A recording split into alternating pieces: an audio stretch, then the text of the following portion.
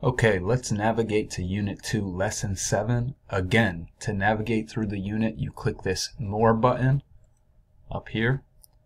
And let's scroll down and find Lesson 7. Okay, here's Lesson 7. Okay, so I want you to read this. You need to read this to understand what the lesson is going to do. Okay, we're going to learn about Creative Commons, copyright, intellectual property. You also need to read this. This is how to tag an image using the IMG tags, okay? You need file name and an image description, okay?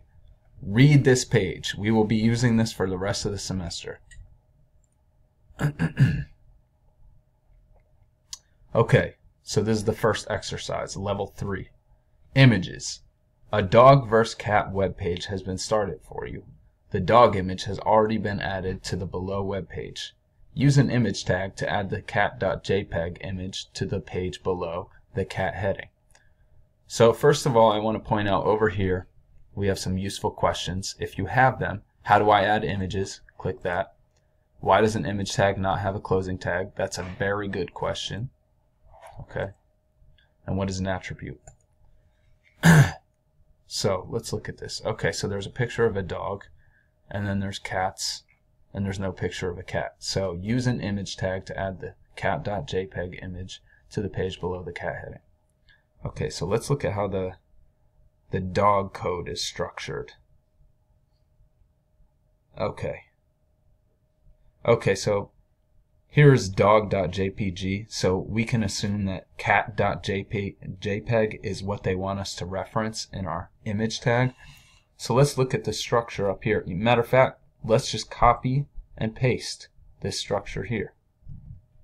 So again, we're going to copy this and let's paste it beneath cats. But what do we have to change here? Okay, obviously this src attribute is what we want to change. We want to change that to cat.jpg. If you read the previous page, you would know that. And look, this pops up, so I think we can just click that. Yes. And let's see.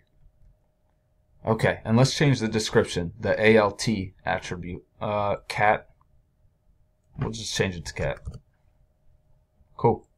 And after you have done that, you have done everything for this exercise, so let's move on.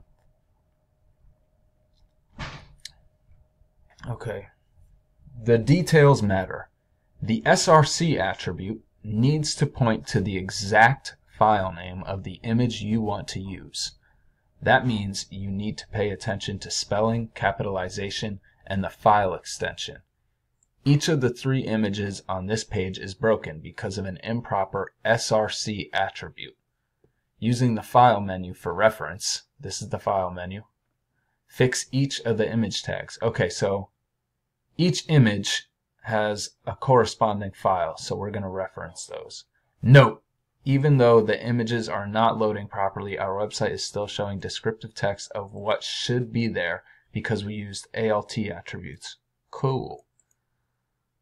Okay, so here red sky should pop up, green grass should pop up, blue trees should pop up. I would imagine that's blue trees, green grass, red sky. Okay. Oh, okay, so the reason they're not showing up is because their SRC attributes are incorrect. So this should be red underscore sky. And look at that, pops up. Okay, what should this one be? grass.jpg. Um, oh, okay. Remember, it says pay attention to spelling capitalization and the file extension. So I am guessing that the reason this one isn't showing is because JPG is capitalized here, but here it is not. So let's change that. Oh, and we could just click that. Let's see. Did it work? Yes. All right, so blue trees. Oh, here they just spelled blue incorrectly. See, it's B-L-U-E. Here it's B-L-U, so we add the E, and it pops up. Excellent. Wonderful. So we're done exercise four. We're going to move on to level five and do the exercises here. Uploading images. You can upload images that you found elsewhere using the Add Image button. Go find an image of a different type of pet that you like and download it to your computer using right-click Save As. I'll show you how to do that in a second. Once you have your images, click Add Image and upload the image from your computer into your project where you can then use it in your page. Okay, so let's upload an image. So saying to do it of a pet. Let's look at hmm, turtle.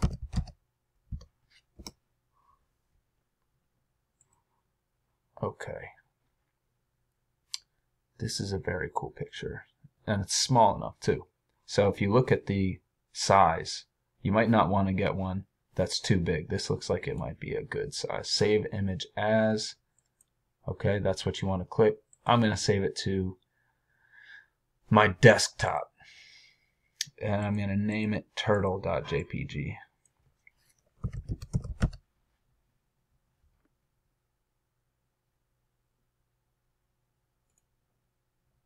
Okay, so it's saved here. This will be in my downloads folder.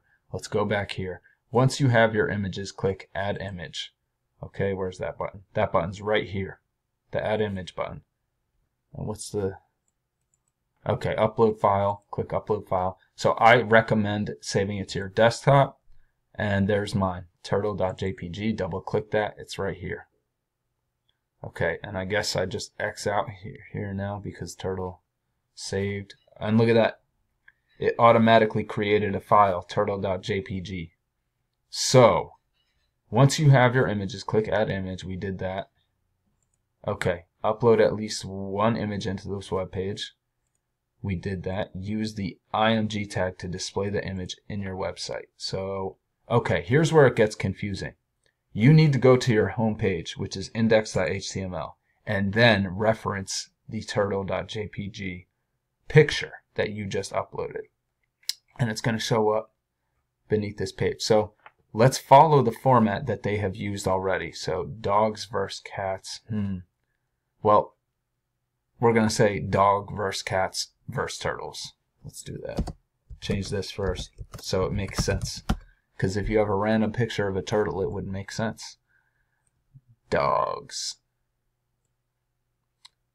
Uh, let's steal this code. And then we're just going to use it. And change it around to turtles. And we're going to change this to turtles. And so this says cat.jpg. We're going to do turtle.jpg. Alright, and no, it is not a cat, it is a turtle. Alright, did it work? Yes, look at that turtle. Perfect. Okay, so we've done everything in exercise 5. Now we want to move on.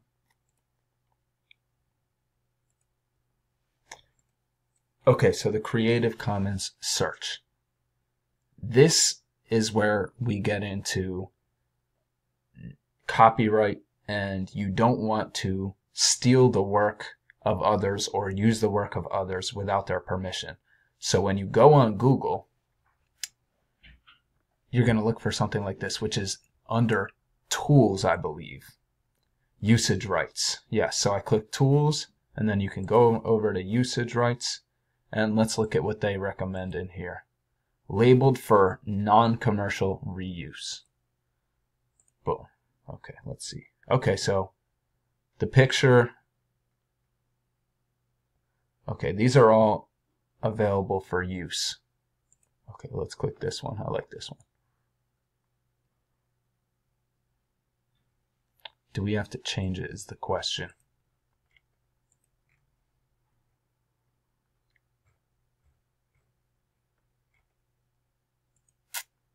Let's see. Hmm. Okay, well,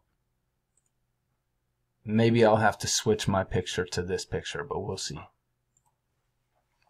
So let's go on. Briefly read over this, or else you won't know what to do for number 7 and number 8. So, giving credit. When using a Creative Commons licensed image, you need to give credit to the original creator. This is called attribution. There are lots of ways to provide attribution, but the easiest way is to add text below the image that identifies the creator and the website it came from. So let's read that again. The easiest way to add is uh, to give attribution is to add text below the image that identifies the creator and website it came from. Do this. In this page, we've already added and attributed an image of a frog. Use the Creative Commons search engine to find another image of an amphibian. Add your found image to this page along with proper attribution, including the name of the creator, the website it was found on, and the license it was published under.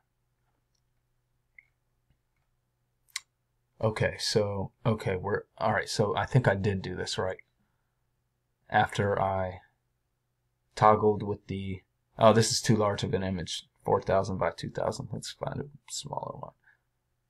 Yeah, this should work. Alright, cool.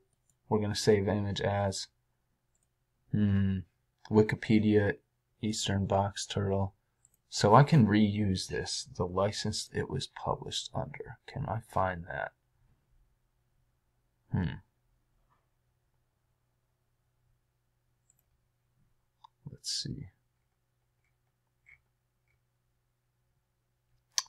Matt Reinbold. Wow. Okay. Hmm. Well, I don't see a license, but we're going to use this and we're going to do the name of the creator, which is Matt Reinbold. So let's save this. And I'm going to name it Turtle 2. You know what? Eastern Box Turtle? No, that's too long. Turtle2.jpg. JPG. That's going to be on my desktop. Alright, so again, we want to copy code that we've already found, okay?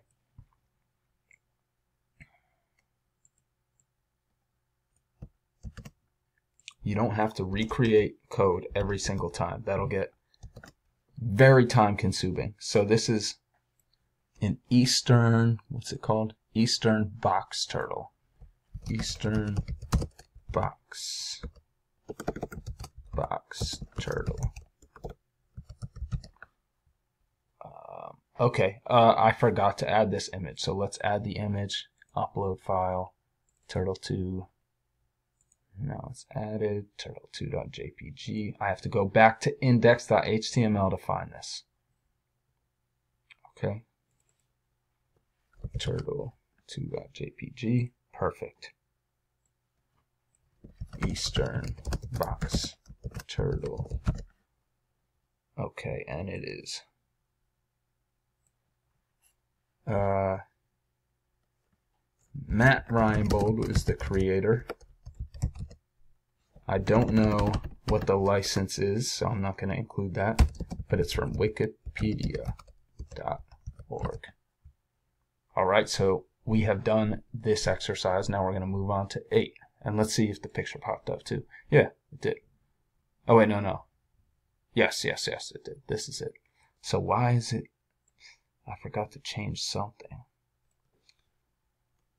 Ah, I messed up a little bit. Okay, let's see how we can do this.